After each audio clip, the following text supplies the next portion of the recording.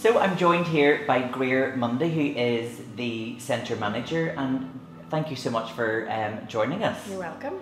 There's been a big push with um, the centre on awareness and Mm-hmm. training, and you know why is that so important to you as a centre manager? I suppose we've had an opportunity to reflect on the young people who have um, come to Lakewood in recent years and we have learned now that the profile of young people coming into secure care is changing.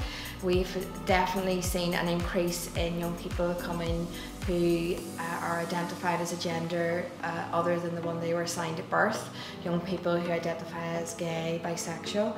Um, we really feel that it's important that our staff team are skilled and have the right knowledge, experience and skill set to best support these young people in the centre. We want to really um, promote a safe space for these young people to come into.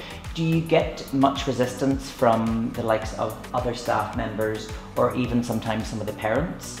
Within our staff team, there's a curiosity. Our staff team are coming to me and asking questions and want to know more and want to do the right thing, want to say the right thing, and want to, I suppose, improve their knowledge um, of, of this particular area. Some parents do struggle and do struggle with um, changes and do struggle with, um, I suppose, um, identity issues with our young people, but that's something that the wider team beyond Lakewood um, can look at and support and support. We will use any opportunity where we can to support a parent in um, hearing their young person and hearing the position that they um, are in at the minute.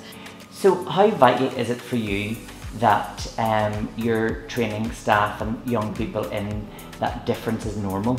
We celebrate difference. We recognise that difference is normal.